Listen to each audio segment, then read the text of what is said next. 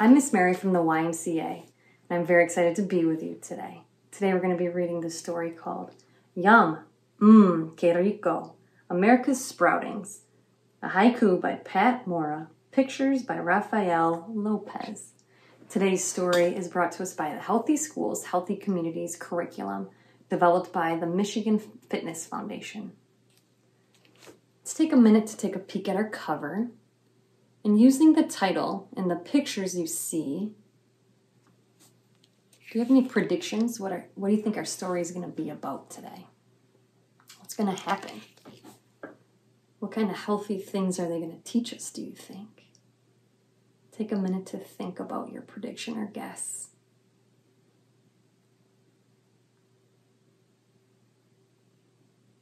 What do you think the difference is between a fruit and vegetable? If you had to tell someone the difference between the two, what would you say? Typically, fruits have seeds inside them and vegetables do not. That's the main difference between the two. What are some examples of whole grain foods that you like to eat or that you could eat? Can you think of any? I like brown rice or whole wheat bread. I love popcorn and rice cakes, and we love to have oatmeal for breakfast at our house. Why is it important to eat a variety of fruits and vegetables, whole grains, and low fat or non fat dairy foods? I brought with me my, my plate. So, why is it important to eat a variety of these foods?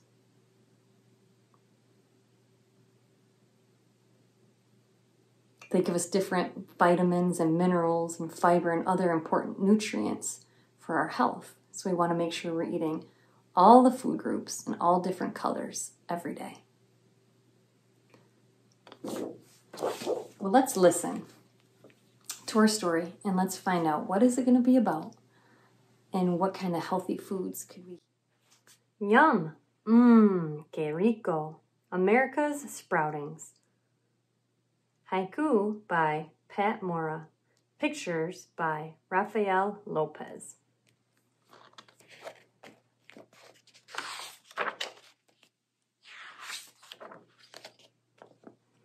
Blueberry. Fill your mouth with blue. Share a bowl heaped with summer. Chew indigo. Oh. Blueberries are delicious, healthy treats. Originating in North America, they were eaten fresh and dried by Native Americans. They also ground blueberries into spice rubs and used the berries in medicines. European settlers in North America made gray paint by boiling blueberries in milk. And today, the United States is the largest producer of blueberries in the world. Wild blueberries, the official state berry of Maine, are sometimes harvested using traditional handheld rakes. Plan a blueberry party in July, National Blueberry Month.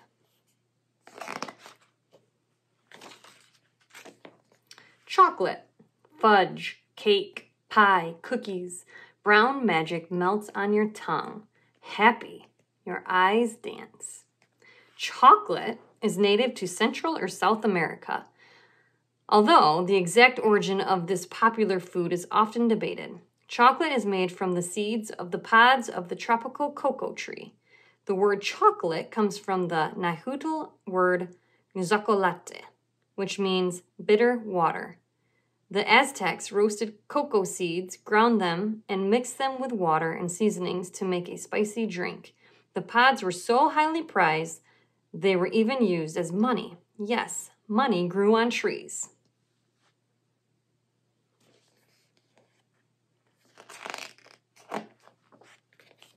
Corn. Leave sprout silk snug house. Smell grits, tortillas, cornbread. Pass the butter, please. Corn, also called maize, is a member of the cereal family. Its ancient ancestor is the wild Mexican grass called teosinte, which means God's corn.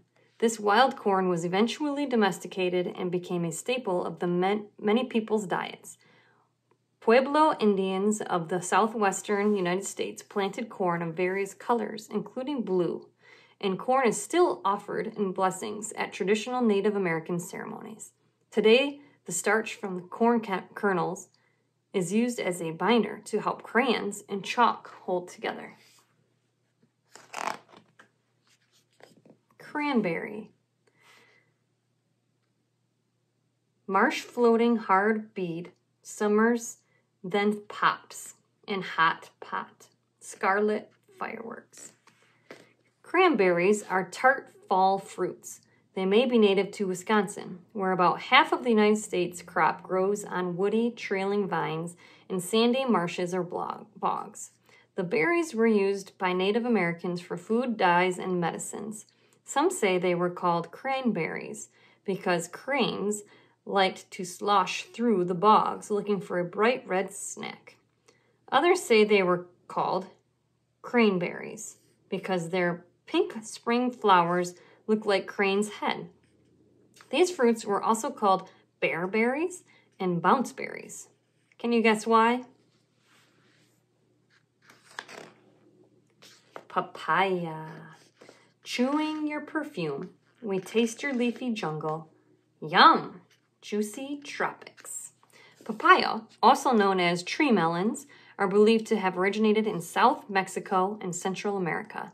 Now they are grown throughout the tropical and subtropical areas of the world. Papayas are hollow, with small, wrinkled black seeds in the center. Papain, found in the milky fluid of unripe papayas, is used in several products, including meat tenderizers and some medicines. When ripe, the fruit is juicy and sweet. Shaped somewhat like a pear, a papaya can weigh as much as 20 pounds.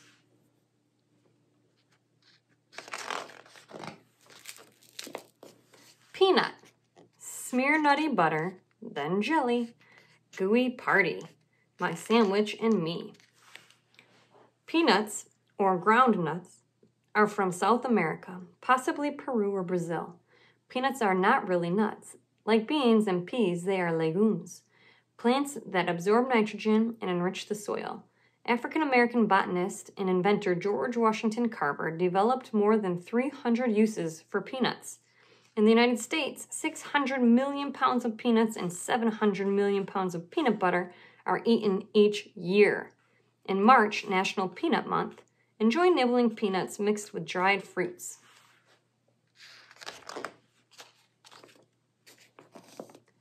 Pecan. We crack hard brown shells. Family munching. Story time. Crunchy taste for fall. Pecans grow on large trees native to Texas and northern Mexico. The pecan is the state tree of Texas, and there are almost a million acres of pecan trees along the state's rivers and streams.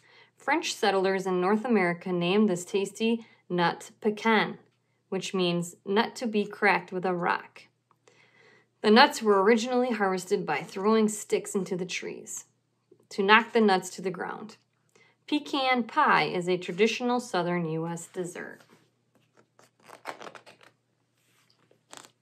Pineapple, a stiff, spiky hat on thick, prickly skin Inside hide syrupy rings.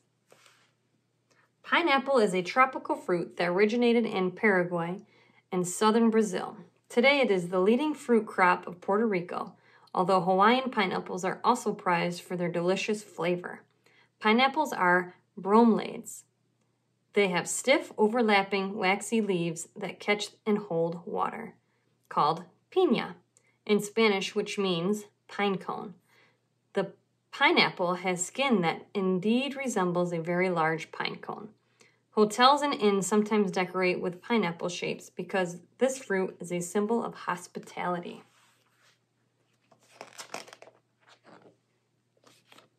Potato, underground magic, peel brown bundle, mash pile high.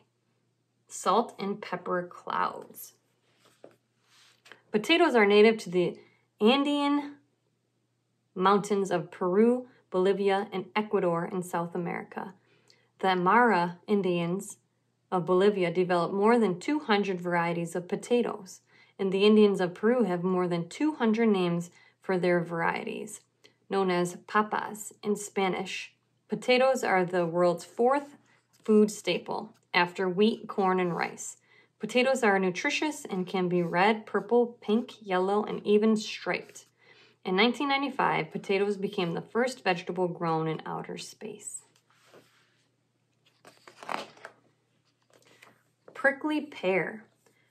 Red dessert wonder. Cactus fruit becomes syrup.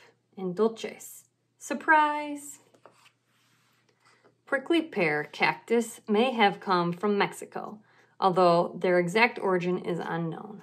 Native Americans of the southwestern United States ate raw, cooked, and dried prickly pears.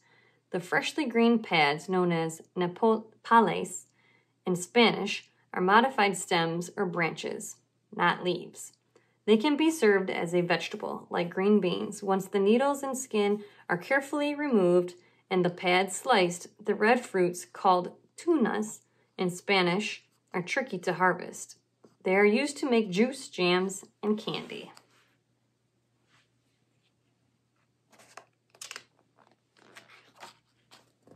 Tomato. Round, roly-poly, squirts seedy, juicy splatter. Red bursts in your mouth. Tomatoes probably originated in Peru or Mexico. They are eaten as a vegetable, but they are technically fruits. In 1893, the United States Supreme Court ruled that since tomatoes were commonly used as a vegetable, they should be subject to the government's tax on imported vegetables. Once considered poisonous, tomatoes are now one of the world's most prized foods. They come in many colors, including red, yellow, orange, green, purple, and white. Can you imagine pizza without tomato sauce or tacos without tomato salsa?